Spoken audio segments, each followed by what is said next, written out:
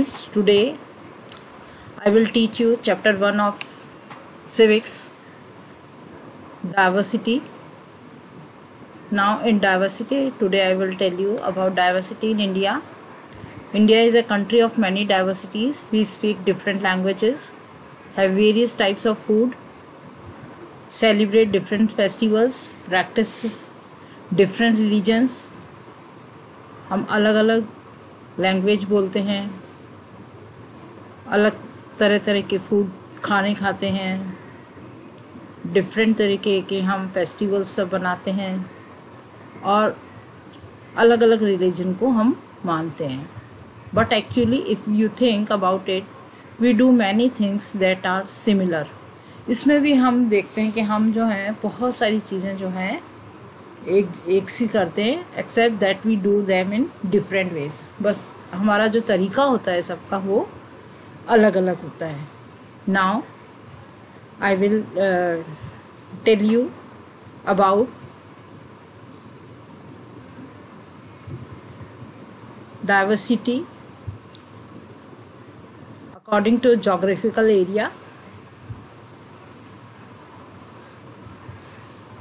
living near the sea is quite different from living in a mountains area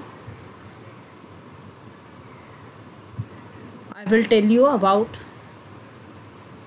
ladakh first ladakh is a desert in the mountain in the eastern part of jammu and kashmir very little agriculture is possible here since this region does not receive any rain and is covered in snow for a large part of the year. Ladakh जो है, वो जम्मू कश्मीर का एक part है। जम्मू कश्मीर में है। अब लद्दाख जो है, जम्मू कश्मीर से अलग हो गया है। नाउ हेयर एग्रीकल्चर जो है, वो बहुत ही कम है। एग्रीकल्चर कम क्यों है यहाँ पे? पॉसिबल नहीं है बिकॉज़ इस रीज़न में जो है does not receive any rainfall क्योंकि ये रीज़न जो है, इस रीज़न में रेन नहीं आती है, बारिश नहीं होती है।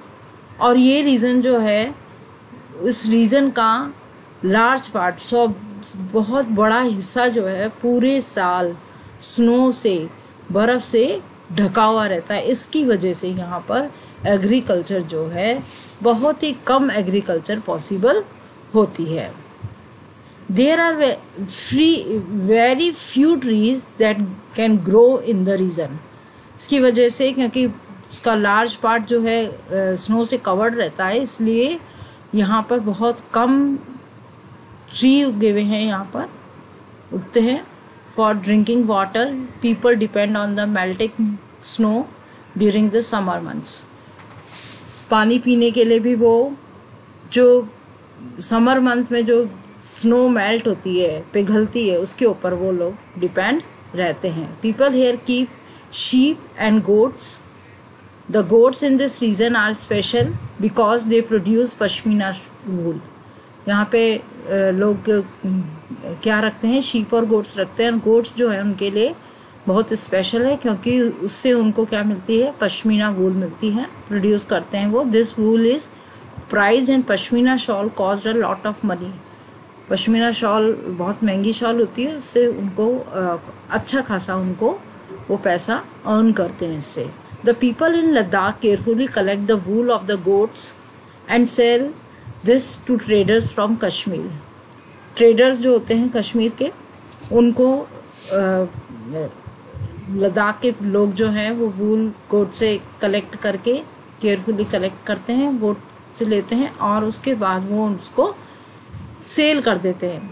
Pashmina shawl are chiefly woven in Kashmir. कहाँ बनती है ये पश्मीना शॉल? कश्मीर में बनती है। The people eat meat and milk produce products like cheese and butter क्या खाते हैं यहाँ के लोग? मीट और मिल्क खाते हैं। और क्या प्रोडक्ट्स होते हैं जिस, उनके? चीज़ और butter each family owns some goats, cows and does yak cows yak cows होती हैं याक की तरह उनको डोज कहते हैं। Being a desert did not mean that Ladakh did not attract its share of traders. क्योंकि लद्दाख जो है, वो एक कोल्ड डेजर्ट है। इसका मतलब ये नहीं है कि वो व्यापारियों को अट्रैक्ट नहीं करता है। It was considered a good trade route as it had many passes passes क्या होते हैं? ये देखिए this is the mountain mountain के बीच के जो रास्ते होते हैं, उनको पासिस कहते हैं।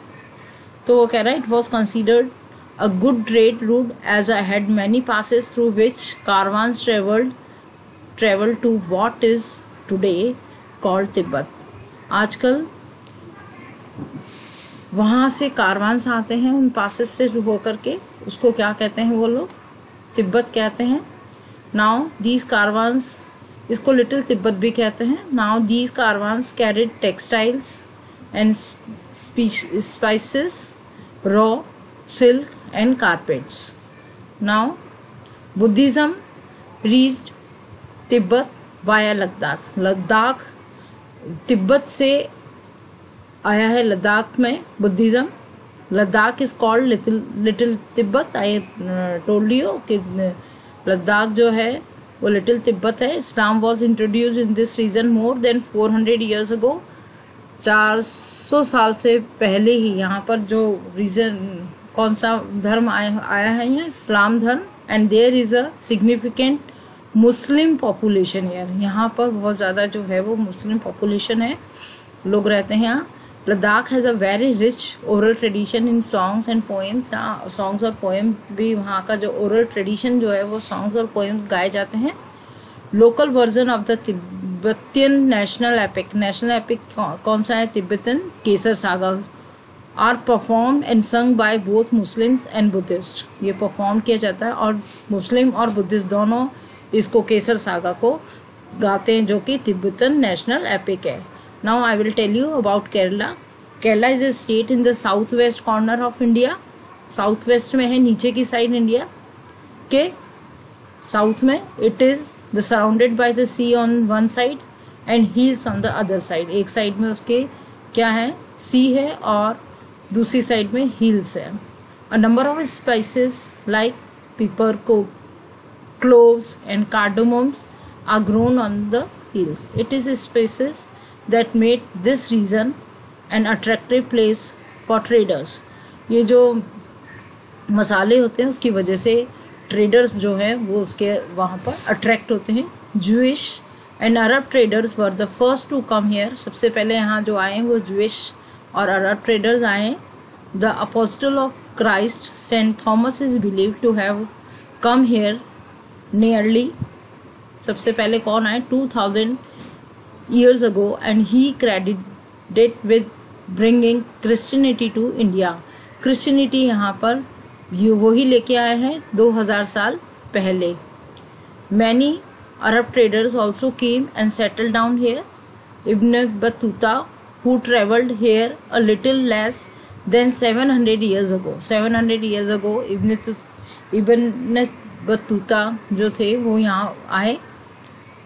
Wrote a travelogue in which they describe the lives of Muslims उसमें उन्होंने जो लिखा है वो उसमें मुस्लिम्स की लाइफ के बारे में लिखा है and says that they were a respected community, community. The Portuguese discovered the sea route to India from Europe when Vasco da Gama landed with its ship here. Because of all these various historical influences, people in Kerala practice different religions such as अब यहाँ पे कौन कौन से religion है Judaism, Islam, Christianity, Hinduism, and Buddhism. The fishing nets used here look exactly like the Chinese fishing nets. जो fishing net use करते हैं वो चाइनीज़ फिशिंग नेट की तरह हैं आर आर कॉल्ड चेनावेला उसको क्या कहते हैं? चेनावेला even the utensil use for frying utensil जो यूज़ करते हैं फ्राइंग करने के लिए, तलने के लिए, जो बर्तन यूज़ करते हैं कॉल्ड द चेन्ना चेट्टी। उसको क्या कहते हैं? चेन्ना चेट्टी कहते हैं and it is believe that the word चैना come have have come from China China जो वर्ड आया है, वो कहाँ से आया है? चाइना से आया है। The fertile land and the climate are situated to growing rice and a majority of people here at eat rice fish and vegetables यहाँ के जो लोग हैं, ज़्यादातर क्या खाते हैं? ईट राइस और फ़िश वेजिटेबल्स खाते हैं। Thank you students now in next video I will tell you about unity in diversity. Thank you.